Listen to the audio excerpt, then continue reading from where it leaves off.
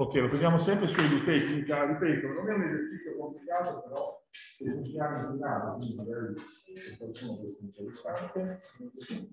Cos'è questo esercizio?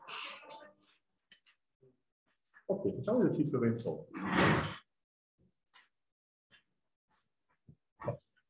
Quindi esercizio 28 della edutecnica,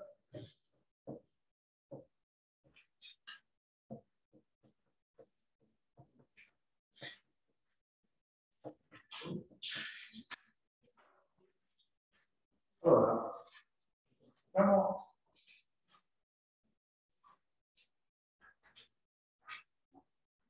lo faccio prima il disegno.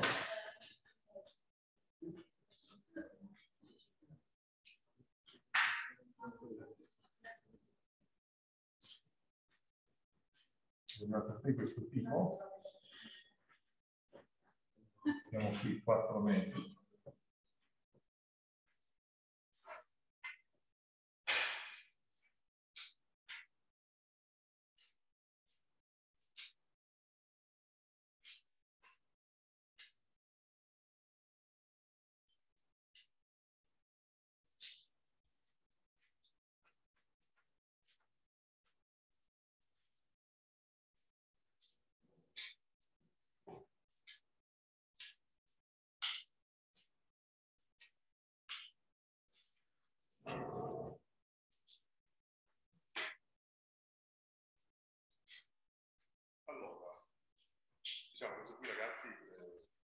Posto, poi fare i conti vegetali sono necessari anche per quindi diciamo, non andrei a perdere tempo perché sennò non riusciamo a fare gli altri. Allora, il sistema di figura con il corpo di massa M, il sistema di figura con il corpo di massa M uguale a 80 kg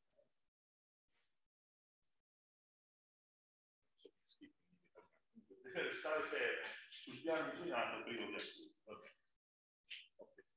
Siamo indecisi se bloccarlo con la forza F1 tangente al piano oppure con la forza F2 orizzontale.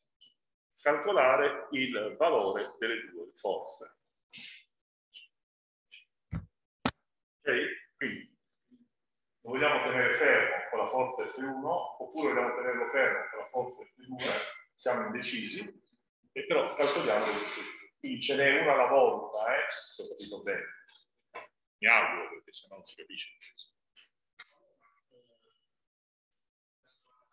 Bisogna trovare l'angolo con trigonometria, al modo dello sedentaneo, perché? Perché un cateto è uguale all'ipotenusa per il coseno dell'angolo adiacente di 90 gradi. Questo lo chiamo, no, questo lo chiamo B questo lo chiamo C, questo lo chiamo A, allora B è uguale ad A per il coseno di alfa, bene? E ritrovate l'angolo alfa. Un cateto è uguale all'ipotenusa per il coseno dell'angolo Quindi alfa ce l'ho. Dopodiché, attenzione, tracciamo la forza peso P la quale va sempre scomposta secondo la perpendicolare, secondo la paralleleggiante. Qui non c'è il Vediamo P1, P.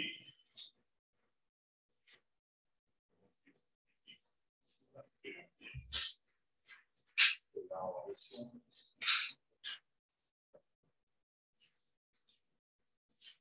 Okay. Quindi per l'equilibrio di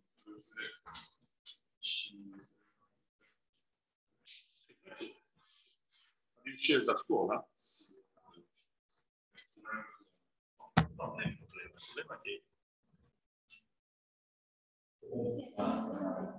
Ok, allora eh, adesso quello che facciamo è, è osservare questo. Se ci fosse soltanto la forza F1, la condizione dovrebbe essere F1 uguale a P1T. Va bene? Quella? P piccola vuol dire tangente. Ah, ok. Questo è PT, chiedo scusa, non è P1 perché non serve. Ok, PT. E vi faccio notare che la reazione vincolare normale è uguale a P. Ok? Questo è il caso 1. Il caso 2 è il caso in cui c'è la forza F2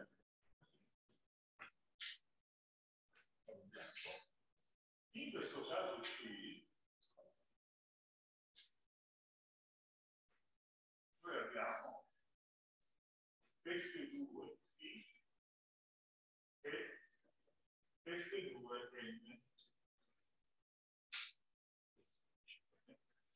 Allora, questo vuol dire che F2T deve essere uguale a T. Ripeto, nel secondo caso c'è soltanto F2. E attenzione che la versione vincolare normale è uguale a Pn meno F2. Ok? Allora, cioè se sono se disegno così, hai una forza che ne applichi così, la forza F2 la devi scomporre, no? E la scomponi secondo la parallela, secondo la perpendicolare. Quindi qui hai F2 normale e totale qui hai F2 allora, F2 tangente e ok? Diciamo, l'unica difficoltà naturalmente è giocare con gli angoli, no? Perché come si calcola F2 tangente ed F2 normale? Bene, se questo è alfa, allora questo è alfa.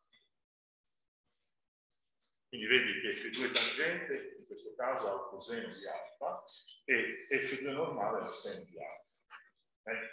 Ci pensate bene, il peso è verticale, la tangente ha il seno.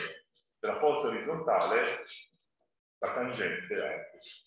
Ok, poi mettere i valori, viene quello che viene, però non voglio più andare avanti perché sennò abbiamo lo spazio per l'energia e il lavoro, andate tecnico, cliccate sopra e vi dà i risultati, cioè mettere i valori, eccetera.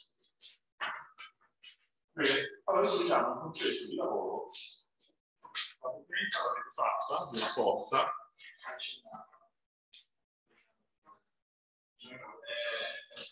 Sicuri? Allora, allora non lo faccio, non faccio a potente, quindi sarà la potenza. Allora, lavoro ed energia. Allora, va bene, cioè, diciamo, fate come volete, allora avete qui diciamo uno spostamento, qui applicate una forza F costante, qui avete l'angolo alfa, no? Allora sapete che il lavoro compiuto dalla forza F per spostare il punto materiale lungo quel percorso lì, avete fatto fotoscalare? Allora posso scriverlo così, F scalare delta R, che vuol dire modulo di F, modulo delta R, del coseno della Va bene? Delta R è uno spostamento, vettore spostamento. Cioè il punto materiale si sta muovendo secondo una traiettoria rettilinea. Per semplificare le cose, ci bisogna dell'integrale. Bene, allora bisogna, dobbiamo fare alcune osservazioni. La prima osservazione è questa. Se il lavoro è positivo, la forza si dice forza motrice o lavoro motore. Eh? Non lo dico perché magari poi nel testo c'è il termine motore, mi dicono F è detta forza motrice.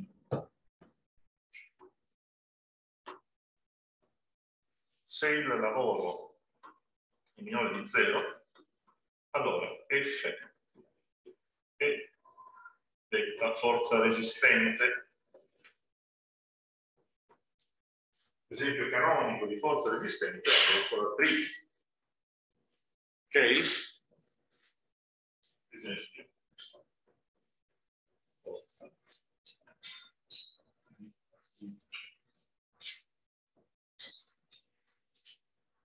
Allora, vi scrivo anche l'espressione per forza stringhi, così da. Il lavoro compiuto dalla forza di attrito dinamico, questo stato di lavoro, è meno coefficiente di attrito dinamico per reazione angolare normale, e questa sarebbe la forza d'attrito, siccome la forza d'attrito è sempre tangente al percorso, il coseno vale 1. E quindi qui posso mettere N sta per lunghezza della traiettoria.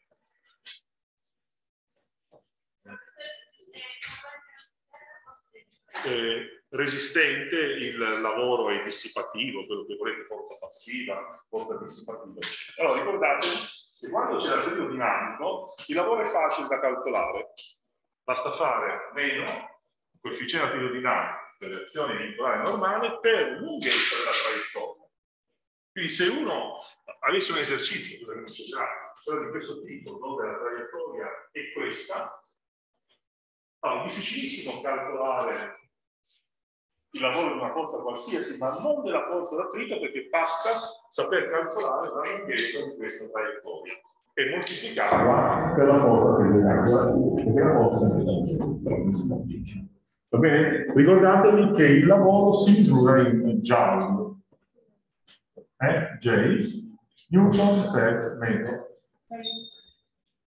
E non si dice joule, perché joule è l'inglese, e non francese.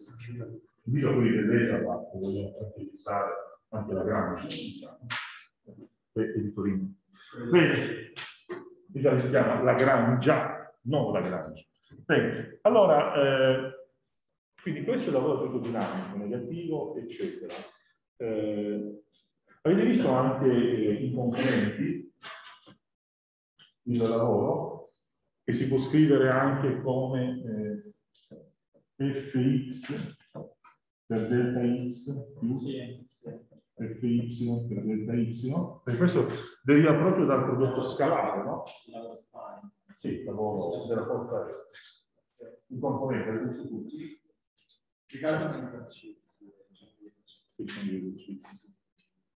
però, diciamo, se la forza F ha le componenti Fx Fy, il raggio vettore ha le componenti delta x, delta y, allora il lavoro è Fx delta x più Fy delta y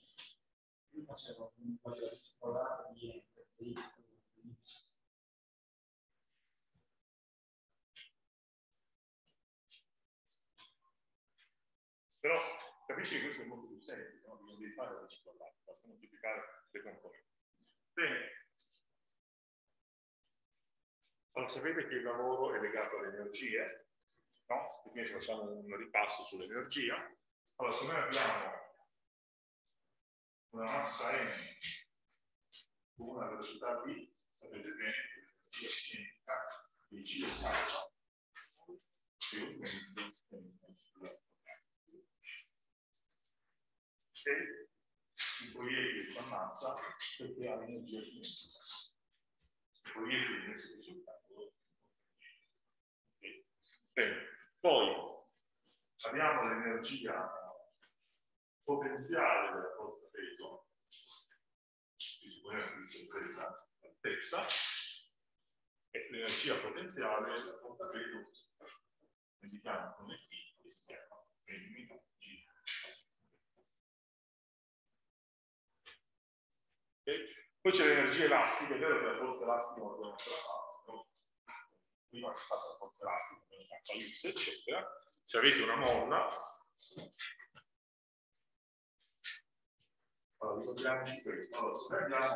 Allora, abbiamo una molla in equilibrio, cioè non compressa e non allungata, possiamo mettere nell'estremo libero l'origine del sistema di polvere. E poi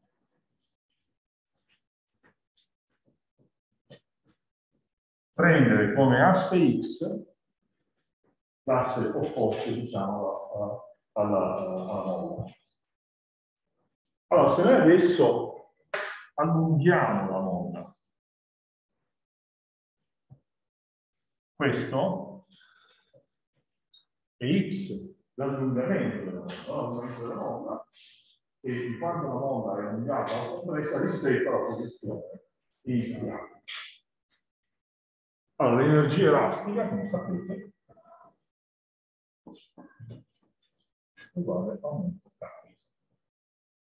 Se dovessi capire perché una molla è energia elastica, basta mettere, basta prendere una molla, comprimerla, mettergli un guantone, separate, diciamo, no? lasciate andare, così la guantone in faccia e capite perché una molla si questa. Il modo migliore per capire. Ecco, state attenti, tutte queste tre energie si misurano in giallo, va bene? State attenti che poi probabilmente sapete che l'energia dipende, dipendono da una costante arbitraria. No? Perché? Perché se lui prende come riferimento del suolo questo, l'energia mgz, se io lo prendo nel pozzo, avrò questo pezzo e questo pezzo. Uno dice, ma allora abbiamo energie diverse? Sì, però sapete che ciò che conta non sono le energie, ma le differenze di energia. Perché? Perché il lavoro totale, il lavoro di tutte le forze che agiscono, è uguale alla variazione di energia cinetica. Questo è quello che si chiama teorema dell'energia cinetica. Il lavoro compiuto dalla forza peso, attenzione, è meno la variazione di energia potenziale, cioè soltanto l'energia cinetica ha la variazione positiva per il lavoro, tutte le altre forze hanno la variazione negativa. E poi il lavoro della forza elastica è uguale a meno la variazione di energia elastica utilizzi di sicurezza?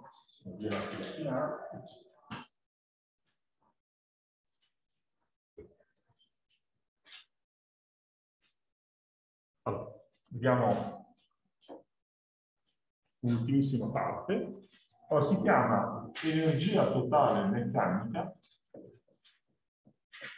per esempio l'energia cinetica più l'energia potenziale più l'energia elastica. Eh? Può capitare che non ci sia energia potenziale, può capitare che non ci sia energia. Qual è la difficoltà nel calcolare l'energia totale? E la difficoltà deriva dal fatto che quando tu metti una molla in verticale, come lo scegli, diciamo, eh, il riferimento? Lo scegli sul terreno, lo scegli in corrispondenza del punto di equilibrio della molla, invece leggera difficoltà, non si fa un problema dove c'è molla, gravità insieme, ma questo poi lo vediamo se ci capita.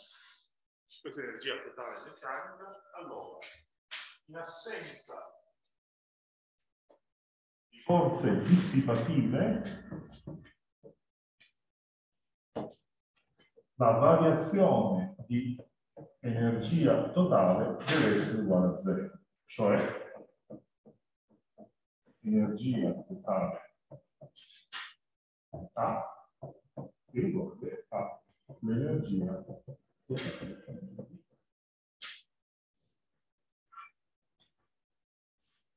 questa è la legge di conservazione Invece, in presenza di forze dissipative,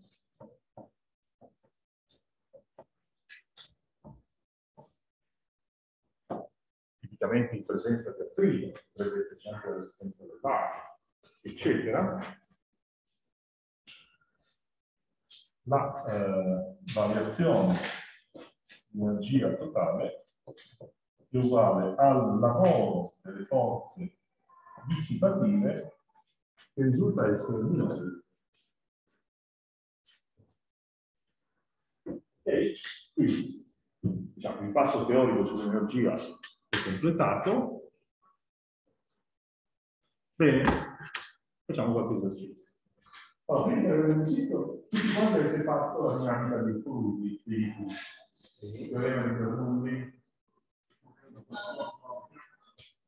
Forse il prima con il professor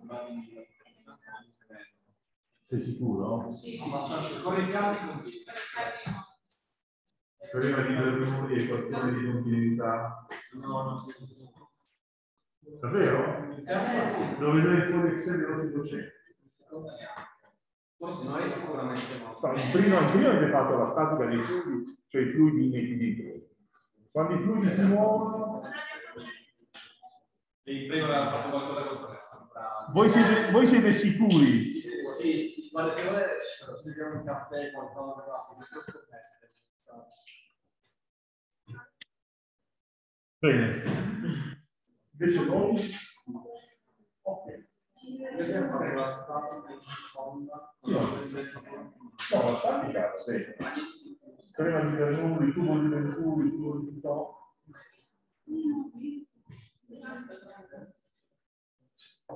Ragazzi, poi vado a vedere il foglio Excel, dove i docenti mi hanno scritto, diciamo, delle cose e io poi dirò a loro Andiamo a vedere alcuni esercizi sulla sull'energia, sul lavoro, eccetera.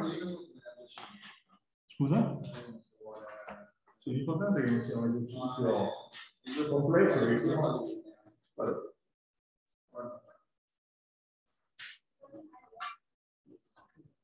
Allora, ragazzi, eh, andiamo, poi dovete fare le cose.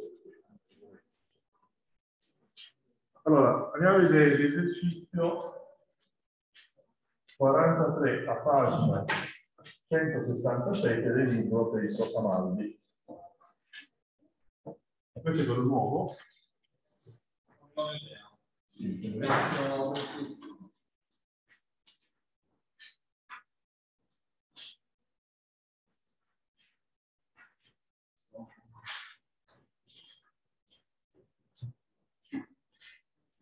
il nuovo avanti si chiama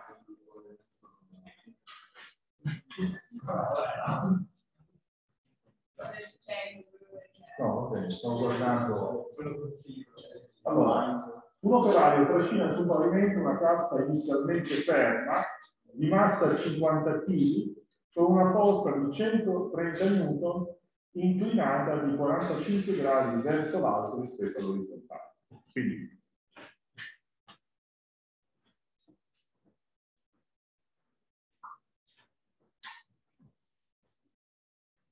di una forza così, 130 newton, inclinata di 45 gradi rispetto all'orizzontale. A un certo istante la cassa raggiunge la velocità di un eh, metro al secondo. In un certo istante vuol dire che la velocità possiamo dire la velocità. Il coefficiente di attrito dinamico tra cassa e pavimento è 0,20.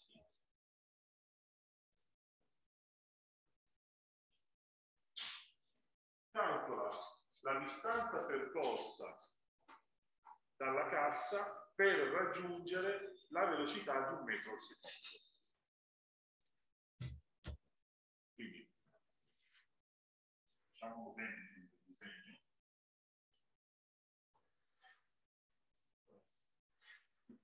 questa situazione qui. La cassa è ferma questa la situazione qui. La cassa ha una velocità di un metro secondo andiamo a calcolare la distanza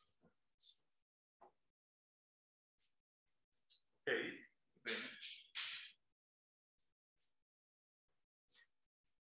Allora, eh, diciamo, questo esercizio si può fare in tanti modi. Io vi invito a farlo da un punto di vista della dinamica. Però invece, siccome siamo nell'ambito dell'energia, eccetera, facciamo Allora, da un punto di vista eh, energetico, di cosa abbiamo noi? Noi abbiamo una situazione iniziale, che chiamiamo A, e una situazione finale, che chiamiamo B. Va bene?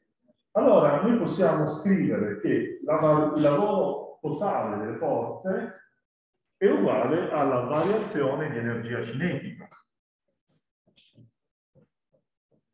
È uguale a ECD meno ECA. Ripeto, l'esercizio si può fare nell'ambito della dinamica, ma lo usiamo in ambito energetico. L'energia cinetica in A vale 0, perché ci viene detto che la cassa è inizialmente ferma.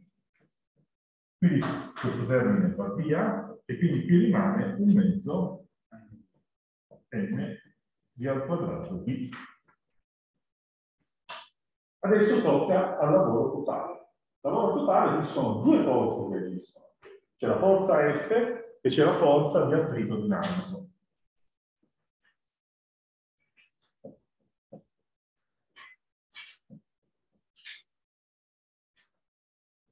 Ok? Quindi questo lavoro totale è lavoro della forza F più lavoro della forza d'attrito. Allora, il lavoro della forza F, eh, che cos'è? È forza, conto scalare per la forza e la distanza.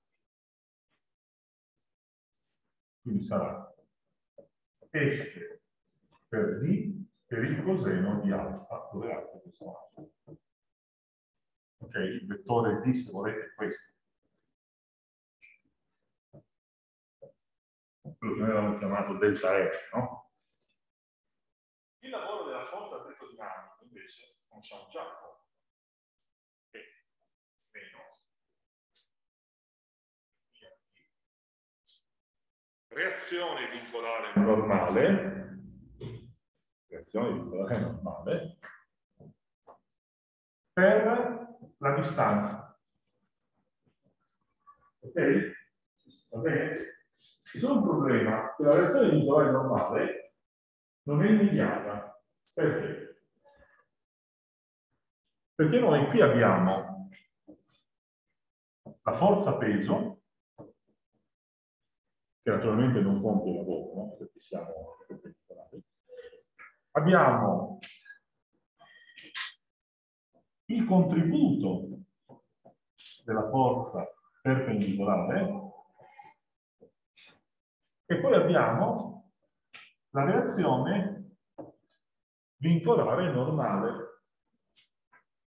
Quindi attenzione che la reazione vincolare normale è uguale alla forza peso meno F perpendicolare. Quindi è un esercizio, diciamo, interessante, un pochino più implicato rispetto al primo esercizio che volevo fare, però... Sì. Cioè, su questo possiamo, questo è già, sì, più o meno così, diciamo. Tanto adesso ne facciamo altro. Va bene? Allora, 3-4 minuti per completare. La forza normale? Ci sono forza normale, che è il suo oggetto, la forza normale c'è la forza peso, però tu adesso stai applicando anche una forza obliqua. E quindi la devi scomporre. E la forza obliqua dà una componente perpendicolare che si va ad aggiungere alla forza normale. Quindi la forza normale più la forza perpendicolare è uguale alla forza peso. Ok? Allora, cosa vuol dire questo? Questa persona sta tirando questa cassa. Secondo me, il modo migliore per far tirare una cassa di una persona è usare le persone basse. Perché questo? Non credo. Perché quando tu tiri una cassa così, bisogna stare, bisogna stare un pochino attenti in realtà. Quando tu tiri una cassa così, è ovvio che tu applichi una forza verso l'alto, quindi stai riducendo, diciamo, la reazione vincolare normale del pavimento, no? Come se io c'è questa sedia qua e adesso faccio così, sto facendo un favore al pavimento, sto facendo un controfavore al sottoscritto, va bene? Il pavimento non è un essere umano, quindi sopporta, almeno che non sfondiamo e scendiamo piano di. Il problema qual è però? È vero che tu quando tiri la cassa così stai diciamo alleviando eh, la forza del pavimento, ma è anche vero che facendo in questo modo tu diminuisci la reazione vincolare normale e quindi diminuisci anche l'attrito.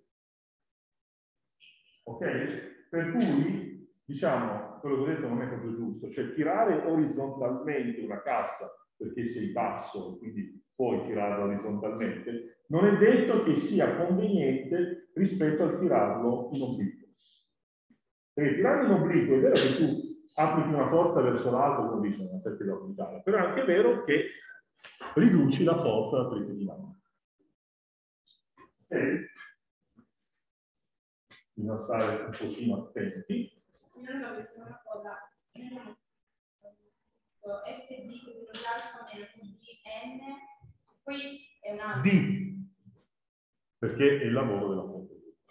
Il risultato del libro viene due metri. O direi di continuare su questo libro.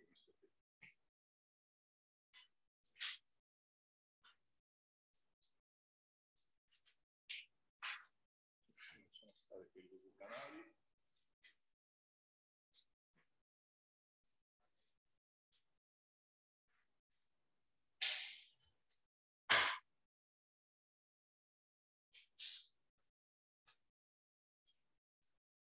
Ok, andiamo a fare questo esercizio. Andiamo a fare l'esercizio 83 a pagina 171 di questo libro.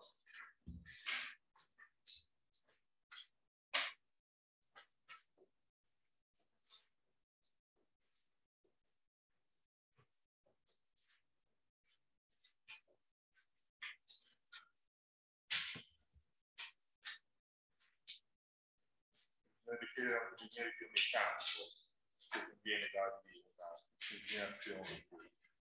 Allora, una molla orizzontale di costante elastica 90 Newton al metro è vincolata a un estremo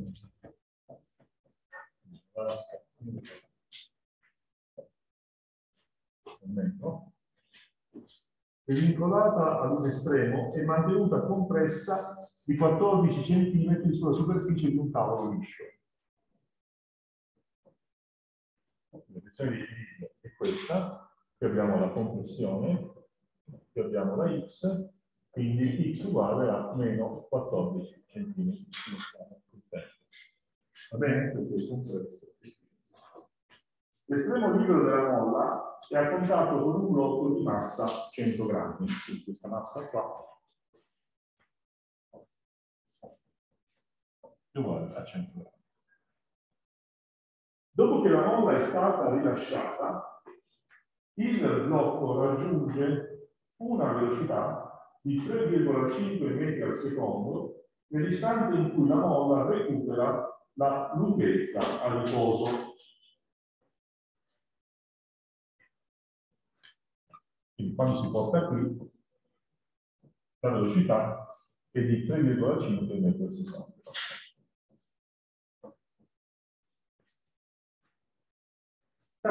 La variazione di energia totale del sistema tra l'istante in cui il blocco è fermo e l'istante in cui ha raggiunto la velocità di 3,5 metri al secondo.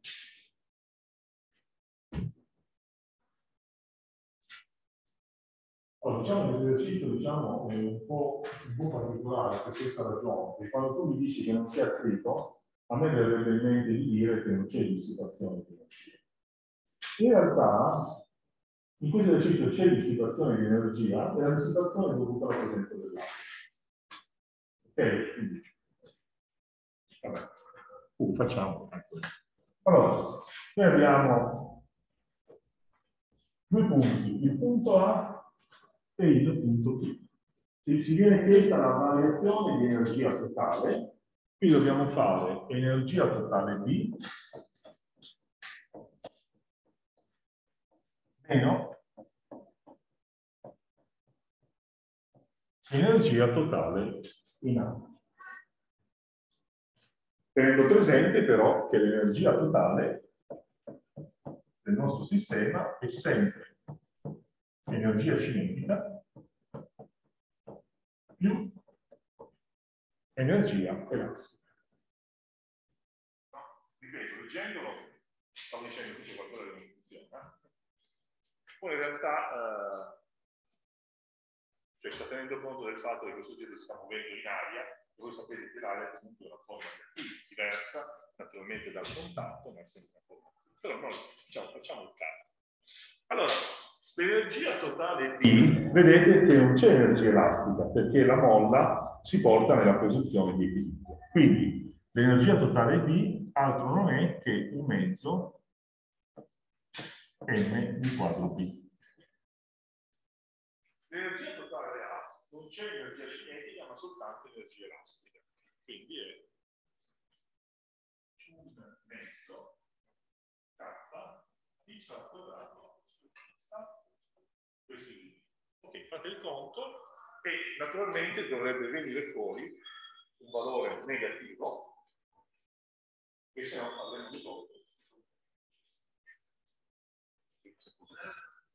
la domanda è calcolare la variazione di energia totale il risultato dovrebbe essere meno 0,27 joule.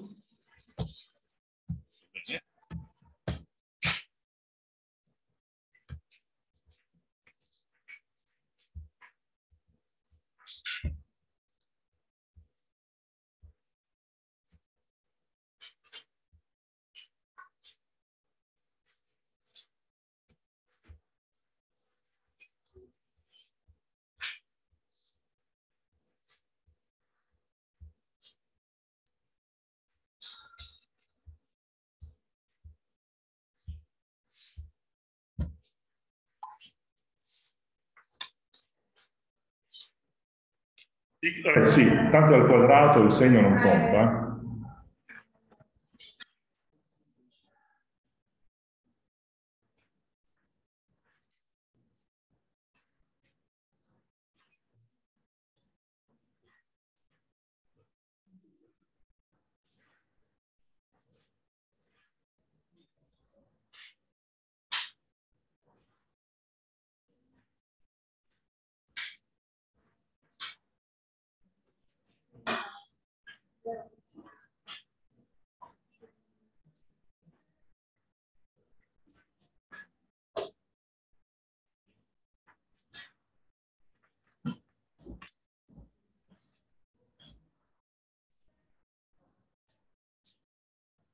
Siamo? Viene? Sì, sì, però lo stai dicendo di quanto viene? Eh, Meno 0,26. Va bene. Allora, facciamo adesso un altro eh, esercizio, un esercizio con il pendolo, diciamo, il pendolo l'abbiamo ancora fatto, no? Tanto non ci servono, diciamo, le formule eh, di oscillazione, eccetera. Ecco, su questo volevo dire una cosa sul pendolo. Sapete che il pendolo è una massa collegata a un filo e naturalmente avete fatto degli esercizi sul state attenti, ci sono due tipologie di esercizi. La prima tipologia riguarda le piccole oscillazioni. Quando uno fa eh, esercizi di piccole oscillazioni che vedremo prossimo, la prossima settimana, vuol dire che il θ di t, l'angolo, è del tipo a coseno omega t. Cosa avete fatto a seno di omega t? Però quando il pendolo viene rilasciato, per esempio, da una posizione orizzontale, uno si guarda tutta la sua oscillazione, quelle formule non servono a nulla. E allora bisogna utilizzare la conservazione dell'energia. Quindi ricordatevelo bene, che potrebbe capitare esercizi, negli esercizi. Un conto è un pendolo con le piccole oscillazioni, e allora lì c'è la formula del, del, la formula del periodo, dell'oscillazione, tante delle cose. Un conto è invece un pendolo che viene fatto oscillare a grandi angoli. A grandi angoli la proporzione matematica è complicata, e allora non possiamo fare altro che utilizzare la conservazione dell'energia. È chiaro? Quindi attenzione alle due tipologie, oscillazioni, piccole oscillazioni e grandi oscillazioni. eh? per le grandi oscillazioni solo conservazione di energia. Quindi io prendo il montare fatto, ma non serve perché tanto non ci stiamo in con un altro. Allora, vediamo l'esercizio, l'esercizio è, è risolto su questo libro, però non importa. Eh? 104. Ho visto che qualcosa di vissuto questo, questo libro. In fisica ho fatto ma qualsiasi cosa, devi chiedere l'esercizio lo fare. Soltanto gli accetta la sfida. Ok. Allora, un pendolo è formato da un filo di massa trascurabile, va bene, lungo 60 cm, fissato a un'estremità, ok, questo l'abbiamo capito, proviamo a chiamarlo a questa estremità. All'altra estremità è attaccato un pesetto di ferro di massa 890 grammi. Inizialmente il pesetto è tenuto in modo che il filo sia orizzontale, quindi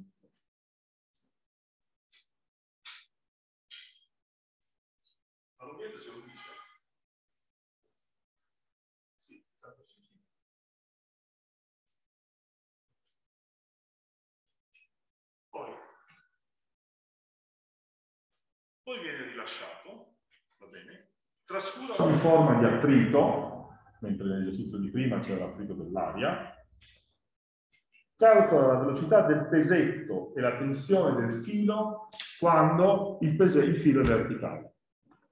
Quindi bisogna calcolare la velocità e la tensione del filo. Va bene? Allora, naturalmente abbiamo capito che quando facciamo esercizi di conservazione di energia, dobbiamo vedere uno stato A, uno stato B. Eh? Quindi lo stato A è l'inizio e lo stato B è la fine. Ok? Quindi prima risolviamo la questione della velocità e poi vedere la tensione. Allora, naturalmente vale la legge di conservazione dell'energia meccanica, quindi energia totale A deve essere uguale a energia totale. Ok? È il 104. Sì, 104. Allora, state attenti perché dobbiamo prendere adesso le uniche forme di energia sono l'energia potenziale della forza peso e l'energia cinetica. Dobbiamo prendere il riferimento per l'energia potenziale della forza peso. Dove lo prendiamo questo riferimento? E dove, e dove, dove? Allora, il vostro compagno ha detto lo prendiamo in B. Va bene? Potrei prenderlo anche no? Ok, lo prendiamo in B perché se noi prendiamo il riferimento nel punto più basso, allora vuol dire che gli oggetti che stanno sopra hanno un'energia potenziale positiva. Però non è obbligatorio. Se volete, ragazzi, lo prendo, lo prendo in O verso l'alto. Prendiamolo nel modo, diciamo, quindi vuol dire che in questo palazzo l'energia, cioè il riferimento sarebbe bene prenderlo nella ricetta, in modo che lo mettiamo, ciascuno di noi ha un'energia potenziale positiva. Se lo prendessimo al terzo piano, noi avremmo energia potenziale negativa, niente di male però. Quindi il riferimento è così, quindi questo qui lo possiamo chiamare ora, lo prendiamo Z, lo prendiamo K, adesso, questo è così. Ok, quindi energia totale A, energia potenziale è Mg, Mg, quanto vale H? La lunghezza del filo, quindi MGL. Non c'è energia cinetica, qui si dice che il filo è abbandonato. Attenzione, se dicesse che al filo gli sarà dato una, una, un impulso e a una certa velocità iniziale, basta mettere qui un mezzo m di al quadrato. Okay? Alla fine l'energia potenziale è nulla, perché siamo nel riferimento, più l'energia cinetica.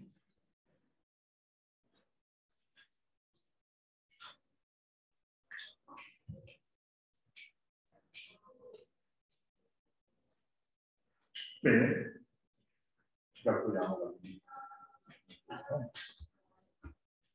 Ok, siamo già quasi alla fine, per cui DD l'ha calcolato, dovrebbero calcolare un attimo la tensione. Allora, i tempi di Galileo, vediamo qualcuno prima di Galileo, cosa si diceva? Si diceva che la tensione TB quasi fosse uguale alla forza peso, eh? va bene? Perché è così.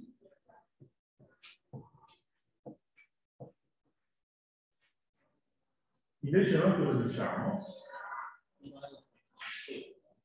Che c'è la forza centripeta che ci dice che È uguale a 24.